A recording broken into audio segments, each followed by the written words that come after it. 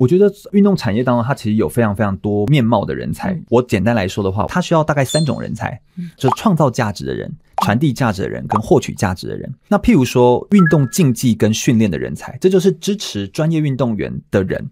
我可以是运动科研人员、营养师。第二种是运动商业跟管理的人才，他比较偏行政，比如说国家奥会、各国的协会或 club、媒体有关的，或者是奥林匹克的伙伴赞助商，或者是国际总会。